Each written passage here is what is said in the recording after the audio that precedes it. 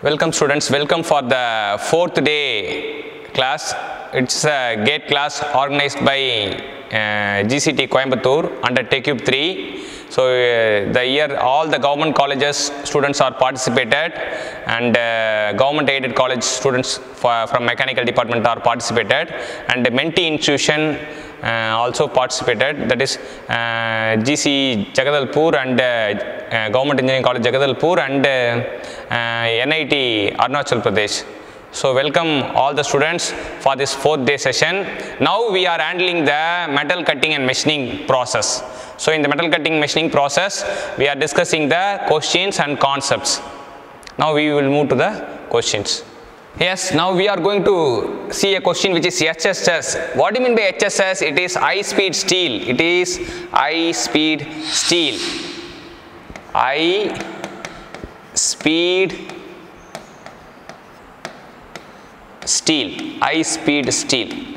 So for high speed steel, the ratio is 18 is to 4 is to 1. Usually this 18 is tungsten and 4 is chromium and 1 is vanadium. So this is the thing we had known already. So now the question is in HSS the tungsten can be substituted by so it is they are asking for tungsten which has to be substituted by the element molybdenum. So it is the right option. Molybdenum is the right answer. Now we are going to see a important concept. What is that concept? It is super HSS, super high speed steel. So compared to high speed steel, super HSS. So for high speed steel, W will be more for super high speed steel. So vanadium will be more. So here the option is C.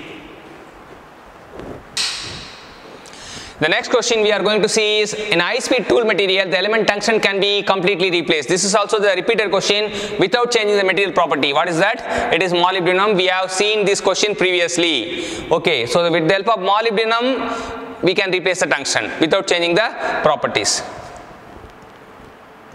So we are having tools and their futures. So turning tool is related to the side relief angle. Reamer, reamer is related to flutes. Reamers and drill bit are, we are having the flutes. And milling cutter, in milling cutter we can have, axial relief. So these are the main features.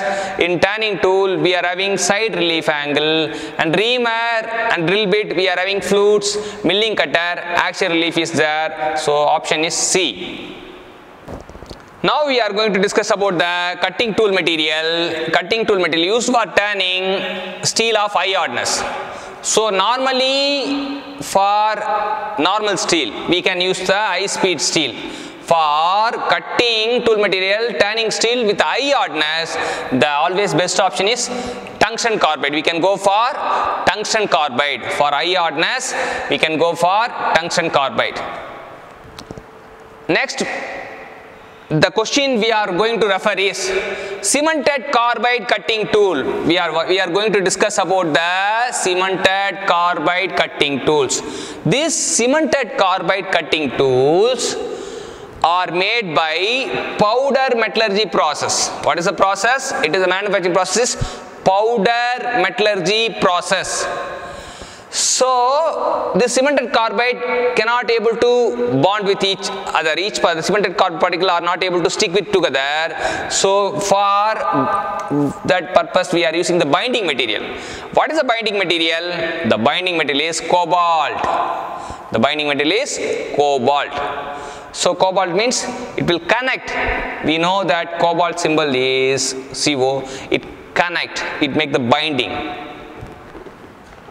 Yes, we are having the turning operation. Here feed rate and nose radius are doubled. Surface finish.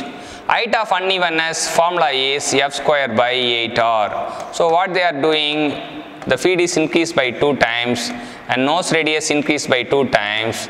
So automatically the value will be 2 by f square 8r. So it will be increased by 2 times. This h will be increased by 2 times. So in a turning operation both the feed rates R and nose radius are doubled the surface finish value so height of unevenness the height of unevenness will increase by two times so height of uneven means unevenness increase by two times means the surface finish. The surface finish is inversely proportional to the height of the unevenness. Surface finish it is a wicket taking question. So easily the student may put it may be height is increased by two uh, two, two things and uh, they will go for option increase by 300 and 100 but 200 is not there. So here height of unevenness in, inversely proportional to surface finish. So automatically it decreased by surface finish decreased by 50 percentage. So that is a surface finish decreased by half times so half means 50 percentage. So option a is right now we are having the good we want good surface finish. For whatever may be the machining operation we want good surface finish. What is the condition to get the good surface finish? We want good surface finish. What is the condition? So feed rate should be low. Remember for less feed good surface finish. And the speed should be high so here we are having two dash low and high. So low feed and high speed gives good surface finish. Now we are having the question h equal to h equal to f square by 8 or this surface roughness is given so height of the unevenness is 5 into 10 to the power of minus 6 so it is- millimeter so minus 3 so f they are asking. Nose radius is 1.8 so we have to find out feet. It is a direct formula. You can get after substituting the value, you can get 0.268 millimeter per revolution. So it is a h is the height of the unevenness, and f is the feed, r is the nose radius.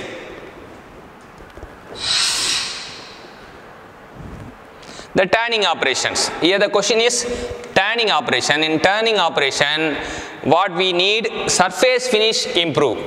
Surface finish we are going to improve. We have to increase the surface finish.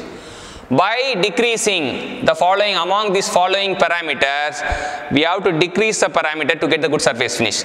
So cutting speed increase good surface finish. Rake angle increase good surface finish. Nose radius increase good surface finish. So only only odd man out is feed. For low feed the surface finish will be good and remaining parameter all the parameter are increasing by increasing the parameter we can get the good surface finish so here the option is b now we are having the question about the height of an uneven peak to valley height. It is equal to f square by 8 r. So what they are doing, radius is given and uh, feed is given. Uh, what they are asking, if the feed is doubled, so feed is going to double. What is the factor they are increasing? So when we double the feed, so factor is it is 4 times. 4 times 4 times this value. First of all, it will be f square by 8r. So f square by 8r will be increased by 4 times. So the factor increased when the feed is increased 2 times. Height of peak to valley height increased by 4 times. So feed is increased by 2 times. Height of unevenness will be increased by 4 times because both are both are directly related. So here height of unevenness is asking. So we know that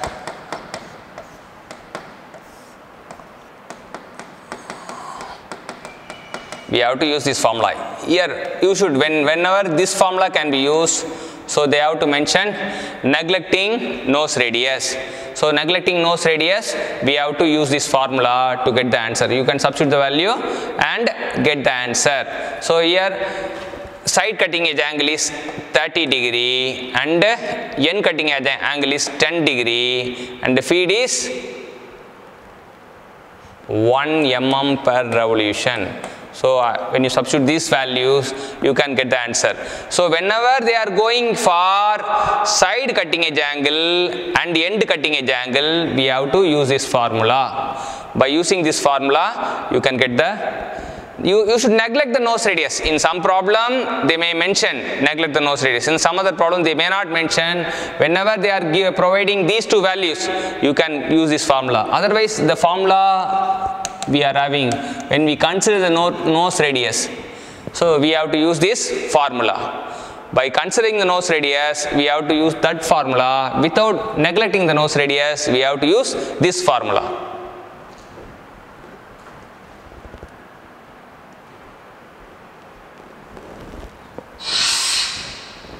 So now we are having the question turning of low carbon steel with titanium coated carbide insert. So carbide insert is as a tool and low carbon steel is the work material. This is work material, this one is the tool material. So the surface finish, our objective is to improve the surface finish. We have to improve the surface finish. That means height of the unevenness should be reduced. So height of the unevenness should be reduced. So it can be made by increasing the nose radius increasing the nose radius increasing the feed and reduce the nose radius what happen? It will increase height of the unevenness decrease the nose radius height of the unevenness here also. So increasing feed is there so it will increase the height of the unevenness but here increasing nose radius it will decrease the height of the unevenness so option B is right.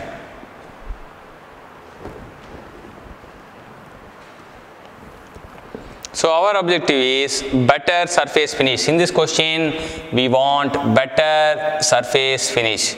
So it is possible with the large rake angle. When rake angle increase, surface finish will be good. Height of unevenness will be less. So we know that. So what is the reason behind that? That is the case. Here area of shear plane decreases. So AS area of shear plane decreases resulting in the decreasing the shear force and as well as cutting force. So these are three actions that take place when we increase the rake angle. When we increase the rake angle, area of contact, area of shear force area of shear plane will decreases. And then shear force also decreases. Cutting force also decreases. So option a is the right answer. A is the right answer. Now we are having the shaping problem. In shaping problem we are having 60 degree symmetrical v tool. Is used in shaping 0.1 mm depth of cut. And uh, feed is 0.1 mm per stroke. So what happens? So we are having, we cut the V like this. So what they are giving, this is 0.1 mm. This length is from ear to ear 0.1 mm. And the total angle, include angle is 60 degree. So we can take the off. Take the off means, so it is off 1. So it is 0.05. Off angle is 30 degree. So this tan 30 equal to tan 30 equal to opposite. Opposite is 0.05 and this is the adjacent AB. We have to find out the theoretical peak to valley height. So peak to valley height is this AB is the peak to valley height. When you calculate the formula, you can get 0.086 microns. So it is the the val value in mm is 0.086. You can it is simple formula. It is tan alpha trigonometry formula, but it is a V angle is a included angle. We have to take the semi included angle and uh, it is 0.05. It is half of the distance. So we can take by using the simple formula we can calculate this shaper problem. So this is the Whitworth uh, quick return mechanism. Why this Whitworth quick return mechanism is used to get the return stroke quick. We have to get the return stroke quick return stroke. Okay, compared to forward stroke, return no cutting, so it has to come faster. But the question is, the velocity of ram is maximum. When, when the velocity of ram is maximum, it will be maximum at the middle of the return stroke. So when it is, this is a forward stroke and when, when we come the return stroke, so at the middle of the return stroke, the velocity is maximum. So this is a return stroke and this one is the forward stroke. In the return stroke, the middle of the return stroke, the velocity is maximum. So this is a wicket taking question. For this question, 90 percentage of students make the answer wrong. Why? The question is asked for shaper permission. Whenever there is a shaper permission, they always think that they make the Whitworth mechanism as the answer. So that is wrong. So here the question asked is, it is for feed. For feed we have to use the ratchet and pawl mechanism. We have to use the ratchet and pawl mechanism for feed. This Whitworth mechanism is used for quick return. It is quick return only it is used. It is not for the feed. For feed, we have to use ratchet and pawl mechanism. Now we are going to discuss the characters of milling operations. This is, a question asking about the characters of milling operations. In horizontal milling process, we are having two types of milling. One is up milling and uh, another one is down milling. This up milling is the conventional milling and the down milling is the climb milling. So among these things we have to compare the variables for this question. So better surface finish. For better surface finish we can go for down milling. For longer tool life that also down milling. So first of all we should know about the difference between up milling and down milling. Up milling is a process in which the cutter is rotate opposite to the top feed direction. This is the feed direction, this is rotation direction. So feed direction is opposite to the top rotational direction. So it is called as up milling and uh, for the same thing.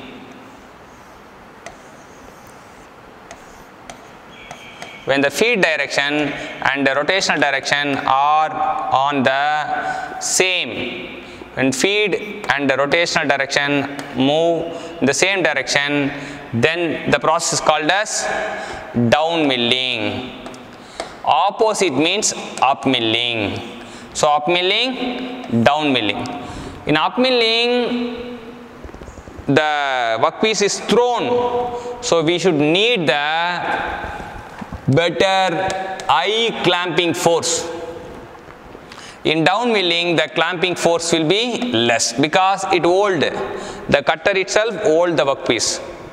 So in up milling, what happens? In up milling, what happens? The initial thickness is less and the final thickness, thickness is more. So because of that, improper surface finish, improper surface finish, improper surface finish. But in down milling, initially chip thickness will be high and goes on decrease. So surface finish will be good. So this is the reason behind the this question. So concept you have to remember is down milling gives a good surface finish, up milling gives a less surface finish. even though we are using up milling only because in down milling it is a, one error is there backlash eliminator occurs backlash eliminator occur in down milling so because of that this down milling is suited for only new machines not for old machine. Up milling normally we are using in milling operations. So this is the question about the milling cutter. It has the eight teeth. It rotate at the 150 rpm and uh, it, it feed per tooth is 0.1 mm per tooth. So they are asking the speed in mm per minute. Speed in mm per minute. So what we can get?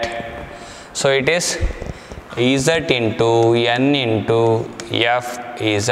You can multiply all those value. You can get 120. So option A is right answer. So we are having plain milling operations. So plain milling operation of mild steel plates. So what are the types of chips can be produced? So it is regular shaped and discontinuous chips. It is a regular shaped discontinuous chips can be produced in the plain milling of mild steel plates. Okay. So this is another problem we are using the same formula. So feed is nothing but it is number of teeth and feed per tooth and so here they are asking feed per tooth. So we have to find out this and this one is given 40 mm per minute. Z is given 8 so we can strike out it is 5 and N is given N is 100 RPM. N is 100 RPM. So we are using here in the unit, this is number of teeth, no, no need to worry. This is RPM, revolution per minute. So here also we no need to worry and uh, this is 40 mm per minute. So we can get it is 5 mm. 40 we can get 5, 5 divided by, we have to divide by 100. 5 divided by 100 it is 0.05 so it is not 5 it is 0.05 mm so that is thing we have to divide divide it by 100 so this is the answer so we are having the question match so why there is chatter is there? What is the reason behind the chatter? Chatter occur due to the lack of rigidity in machine. When the machine we are using is not rigid, the machine will vibrate, chatter, chatter will take place. So lack of rigidity machines and fixture bars, whatever may be the lack, the rigidity reduce, rigidity is less means chatter will there. And poor surface finish. Poor surface finish is caused by the high feed. When the feed is high, the surface finish will be less. And cutter burr, when the cutter will make cutter burrs, the small it will turn into small burr will be produced, cutter burr. So it will be the reason of high cutting load. Cutter will burr due to the high cutting load. So our option is B. And D option built up edge is formed when the built up edge continuous chip with built up edge is formed. The continuous chip with built up edge is formed due to the insufficient lubricant. So this built up edge is formed due to the insufficient lubricant. So our option is B. It is due to the insufficient lubricant. This is the indexing problem. A gear with 84 teeth is to be machined using a milling process with indexing. The index plate has the following 4 hole circle. So index plate is nothing but it is a plate with number of holes. It is a plate with number of holes. So we are having four different plates. One plate has 36 volts, another plate has 38 volts, the next plate has 42 volts and 48 volts. The change gear ratio is required. For change gear ratio change gear ratio the formula is 40 divided by number of teeth. So it is 40 divided by 84 when you strike. When you strike it so you can get 40 divided by is 10 this is 421 so we can choose 10 by our index change gear ratio is 10 by 21 so option b is right. So now here you are seeing the index plate. It will be like this. Index plate a plate with number of volts so now we are milling cutter problem. So they are asking about the T max. It is the ratio of maximum uncut chip thickness. So T max is it is 2F by N is at small d by capital D. Small d by capital D. So here it is the, the two separate milling cutter 1 and 2 are performed with identical milling cutter the depth of cut in operation 2 is twice that of is twice that of in the operation 1. So, we eliminate all the variables, we take only depth of cut. So, it is like this. So, T1 by T2, T max 1 by T max 2 equal to square root of D1 by D2. So, what happened? It will be increased by 2 times. So, here it is 1 means 2. So, 1 by root 2 it is 0.7 times. So, here the uh, in operation the ratio of this asking so it is the answer is 0.707 so remaining they have mentioned that remaining all the variables are the other cutting parameter are identical. So we have to eliminate all the other cutting parameters feed speed and number of teeth and dia so we eliminate all the parameter. We are taking only depth of cut. So it is directly proportional to depth of cut. So T max 1 by T max 2 equal to 1 by root 2. So 1 by root 2 is nothing but 0.707.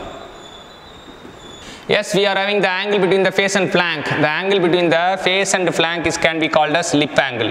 So lip angle is the angle between the face and uh, flank.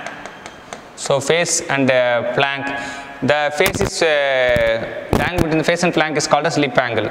The next question we are going to see is in single point thread cutting tool, ideal we have zero rake angle. So for single point cutting tool, for thread cutting, for thread cutting operation we have having zero rake angle. So now we, we have already seen these questions and uh, we are once again recap the straight grade consists of tungsten carbide only. The straight grade consists of tungsten carbide and uh, tungsten carbide only is straight grade. And the crater wear is predominant in tungsten carbide tools. And uh, here the, we are having for titanium the machinability will be poor and the mild steel machinability will be high. The primary tool force is the tangential force. The primary tool force is the tangential force. Which of the following factor are directly measured by the strain gauge? So it is a strain gauge measurement. Strain gauge is used for uh, measuring cutting force. Those devices are called as dynamometer. Dynamometer is a device to measure the cutting force. So here what are the forces measured with help of strain gauge? So it is horizontal cutting force we can measure by the tool and workpiece and uh, friction resistance cannot be measured. Vertical force can be measured. Force exerted by the tool on the chip acting normal to the face cannot be measured. So option is 2 and 4. So we can measure the horizontal force exerted by the tool on the workpiece. Okay. And vertical force which helps in the holding the tool in position.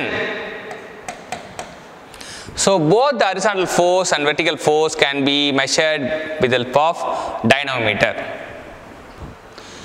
We are having spindle speed. The spindle speed can be have certain range that all the spindle speed are in the series of geometric progression. So it will be 50, 150, 450 like that.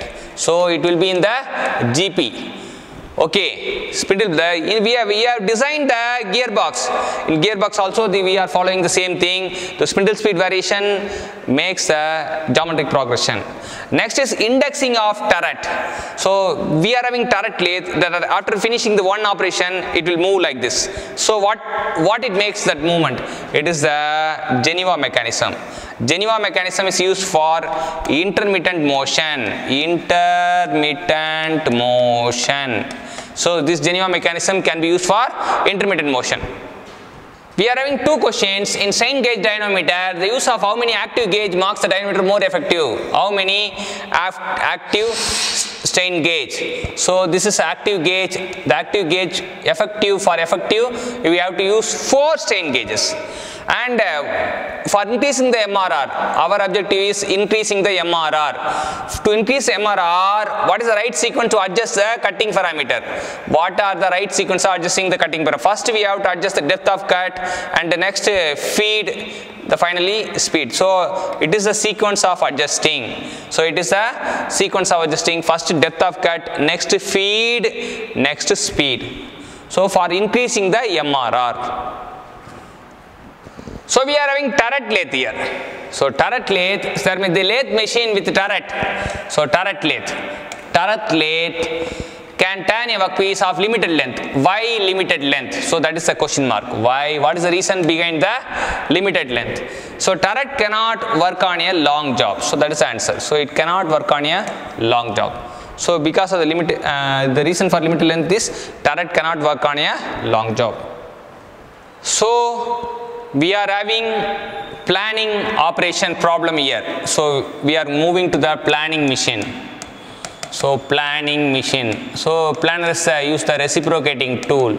It use the reciprocating tool. Here the work table, work table reciprocate and the tool stationary. That is a planner. For planner we should remember these things. And uh, we are having it is the 2000, 2000 mm length. So we have to we have to find out the we have to find out the time. Time equal to length by stroke. So we are having 2000 2000 mm and uh, number of stroke it is 10 double stroke 10 double stroke means 10 into 2 20 20 strokes per minute so we have to divide by 20 you can strike out. You can get b. It is a 100 minutes. So when it is double stroke you have to convert into double stroke means forward stroke 100 so you have to convert into into 2 so when you convert it into 2 the 10 double stroke will be 20 stroke per minute 10 double stroke per minute it is equal to 20 stroke per minute. So you can get 20 2000 by 20 100 minute. The material most commonly used for manufacturing machine tool beds. So it is machine tool beds. So we are having different machines. Those machines are made up of some material. It is gray cast iron. Why gray cast iron? It has the high damping capacity. So what do you mean by damping high damping capacity. What do you mean by damping? It is ability to absorb the shock and vibration. So it absorb shock or vibration. So it is the ability of the gray cast iron so for machine tool bed mostly we are using gray cast iron. That is uh, also closed grain structure. Closed grain structure. Gray cast iron. Gray cast iron. So this is the exact thing. Okay? Here gray cast iron is the answer. So we are having two types of chuck. One is three jaw chuck another one is four jaw chuck so what is this three jaw chuck doing all the jaws are moved concentrically So this three jaw chuck can be used, it is self-centered. Self-centered means all the jaws of the chuck moves simultaneously. So it is used to hold regular shaped job. So here we are going to hold odd shaped workpiece. So odd shaped workpiece it is irregular.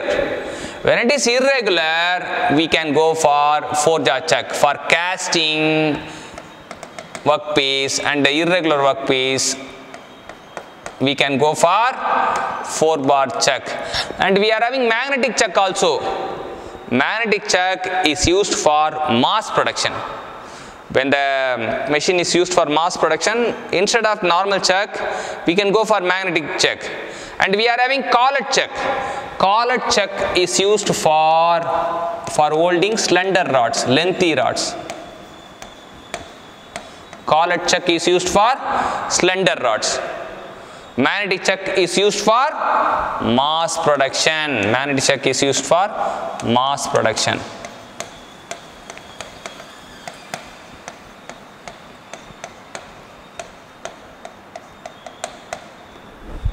magnetic chuck is used for mass production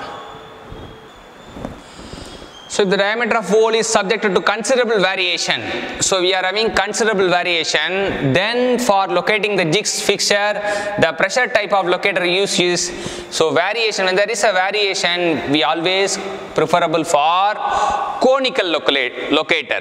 Conical locator is used for considerable variation. Diameter is considered the locating purpose, we are using the conical locator.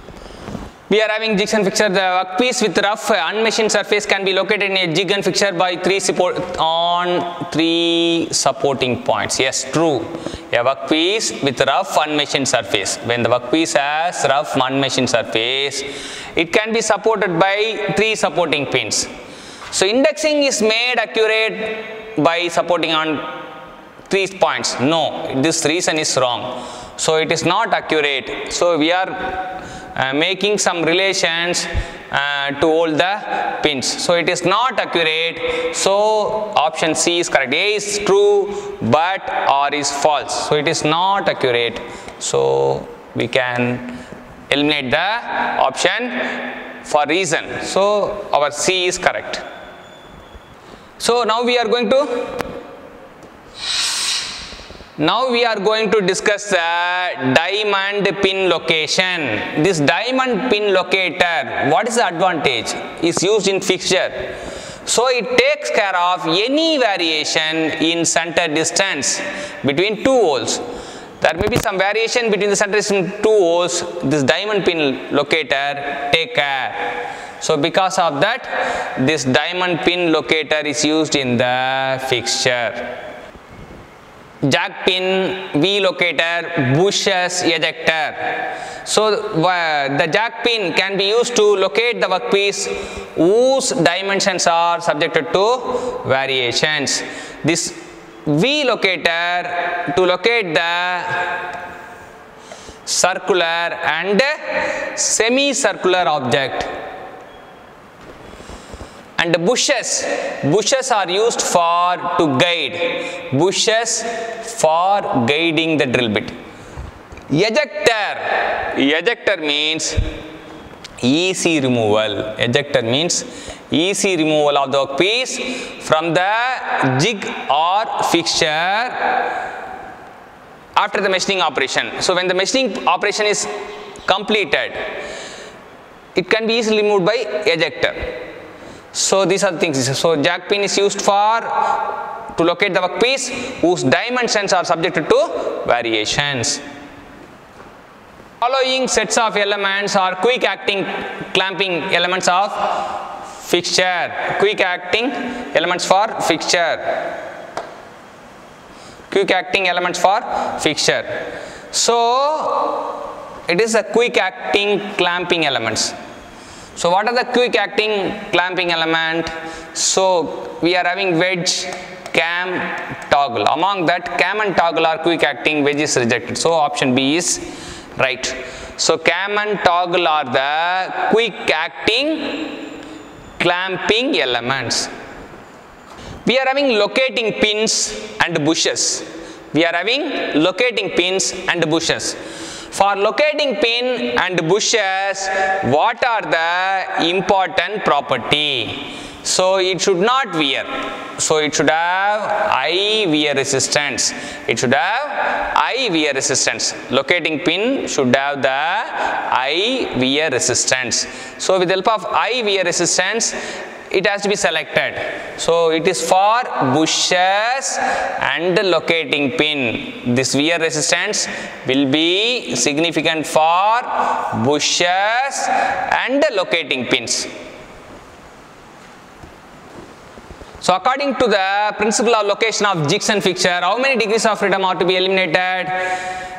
Body in a space. So we should eliminate the body in space. It has to be 5 degrees of freedom has to be eliminated in body in space. Next we are going to talk about the bushes.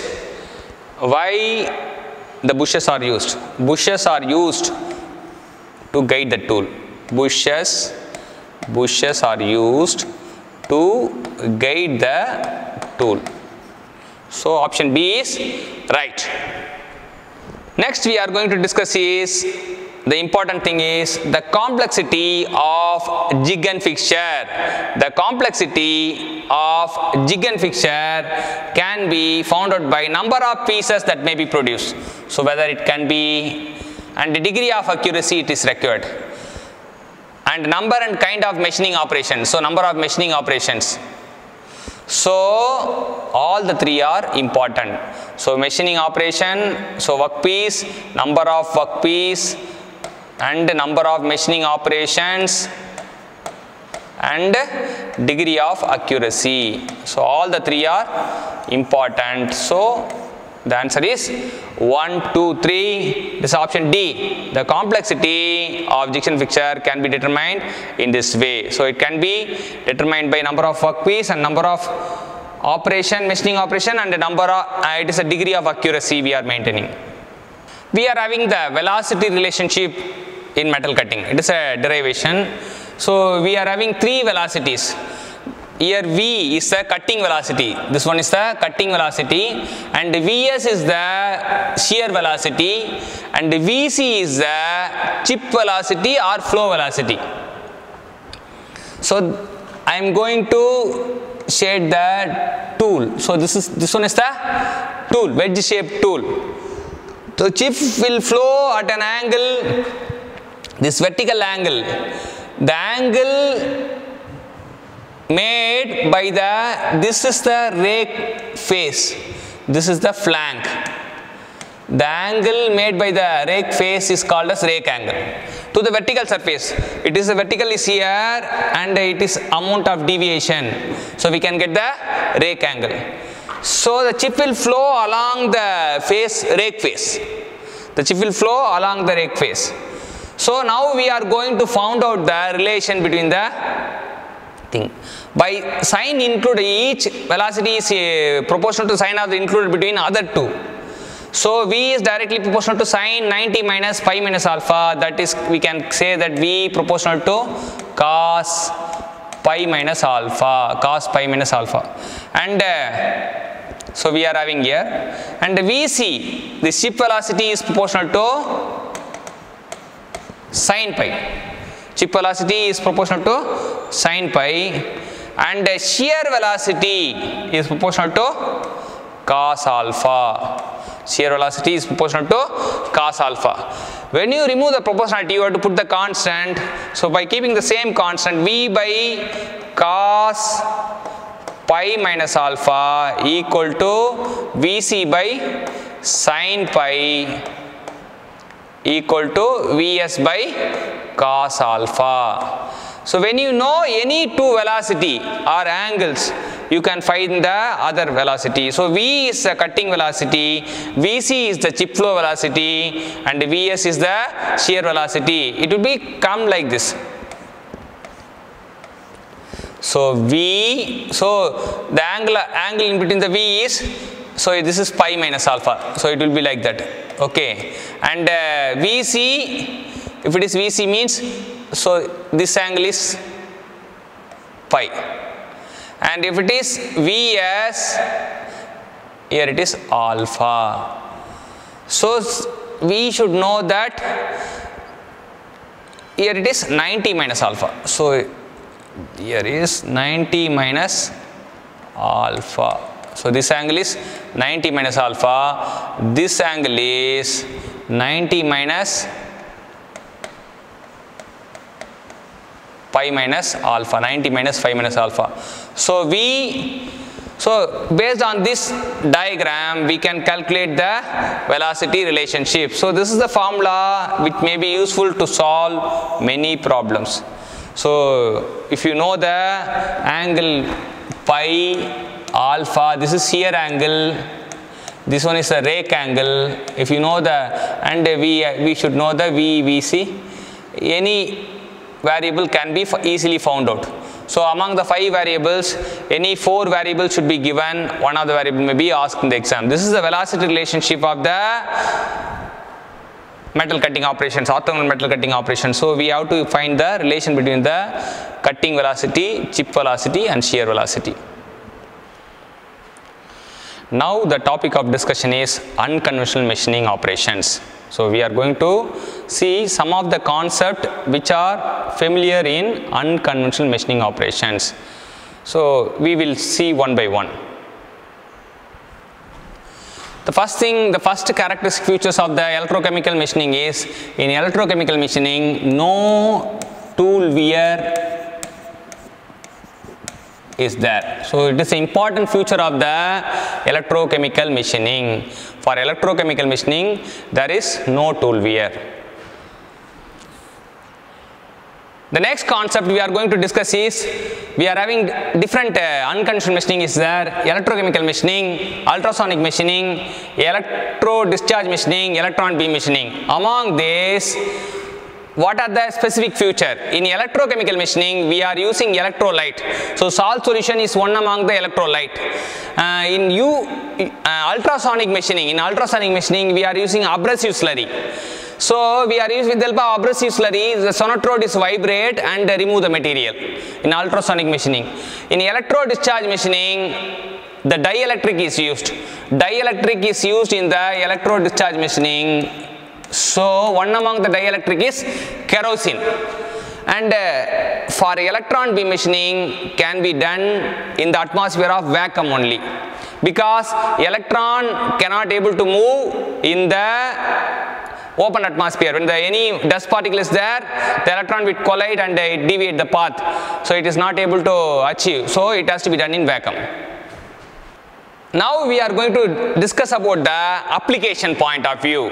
So dies are made by die sinking operation can be achieved by electro discharge machining and deburring for deburring operation we are using abrasive jet machining and fine wall drilling in a thin material. When, whenever there is a thin material in thin material this fine wall can be produced by laser beam machining.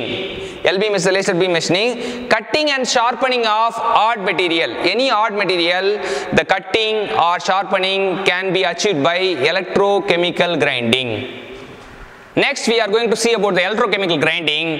In electrochemical grinding, which one is used as a cathode and what, what is going to be used as anode? So, workpiece is used as anode and the copper bonded alumina grinding wheel act as a cathode. So, the metal removal action can be achieved by electrolysis process. So, these are the some of the significant features in electrochemical grinding. We know that in EDM we need dielectric, we need dielectric fluid. And one more thing we should remember, one more thing it, it can be, machining can be done only for the conducting material, conducting material. And LBM this LBM is used for micro hole drilling. Micro hole drilling we know that. Micro hole drilling. And uh, for thin plates here the requirement is ruby rod is required.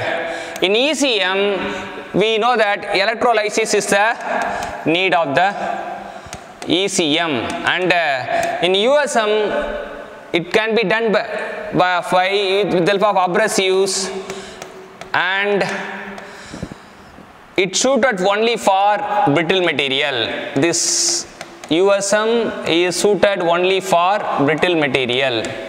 So these are the important features for the different process.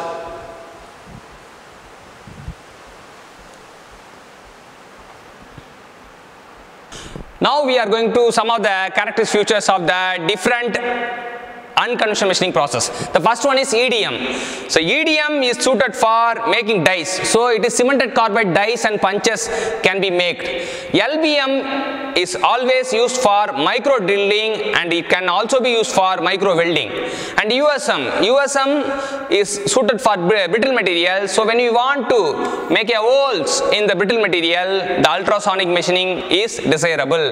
And electrochemical machining, the perfect contour can be obtained in electrochemical machining. So shaping of hard metals, reshaping of cemented carbide tools can be achieved by electrochemical machining. Yes, we are having EDM. In EDM, the tool selection is important thing. We have to select when we go for low wearing tool material, the tool is made up of the material. It is a silver tungsten or copper tungsten. So this W is the tungsten, silver tungsten or copper tungsten. In ultrasonic machining, how the material is removed? What is the material removal rate action? What is the principle behind that? Yes, that is the point we want to know. So in ultrasonic machining, we are having transducer.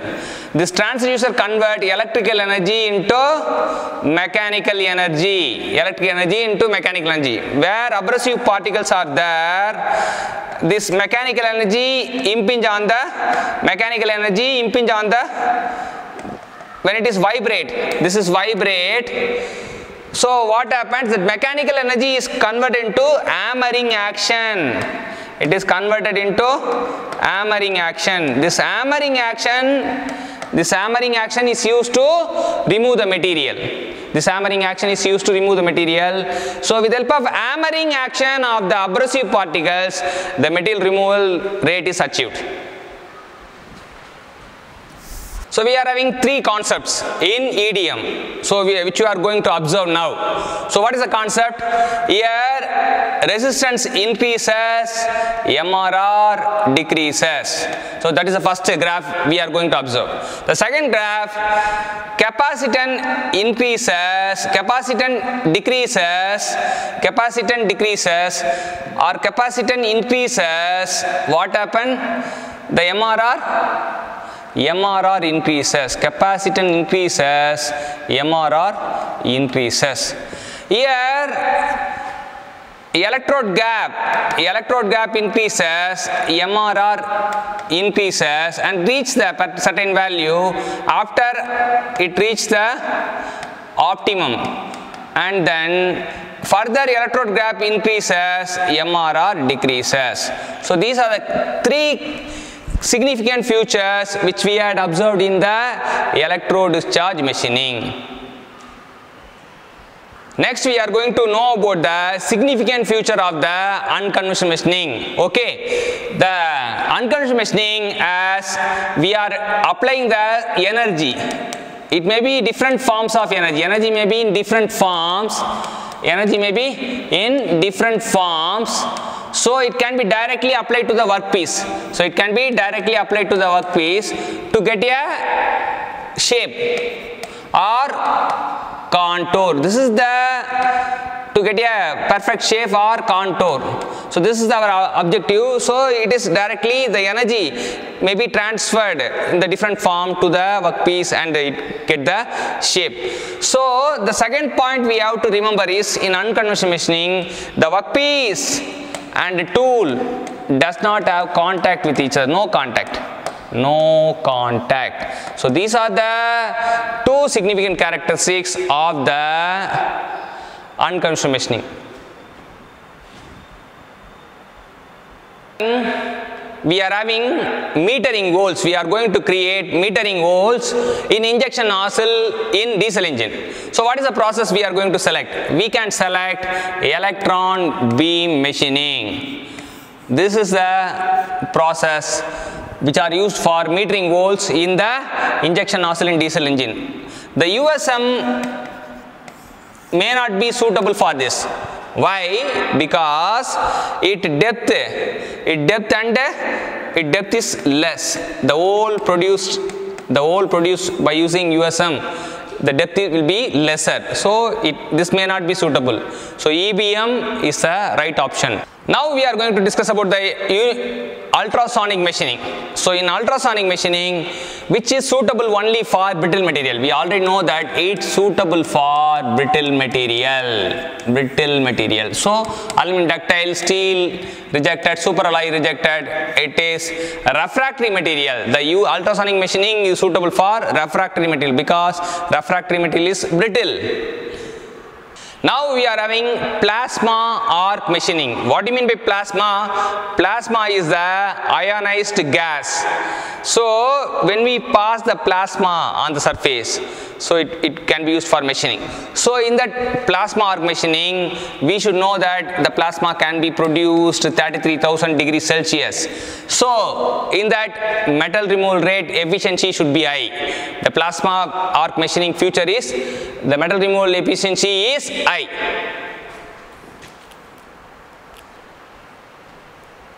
So we are having EDM. In EDM, the tool is always cathode and work is always anode. If work material and tool material are same, then more erosion take place on anode. More erosion take place on anode. If both are takes place anode. So because of that, the tool is act as a cathode and work as a anode.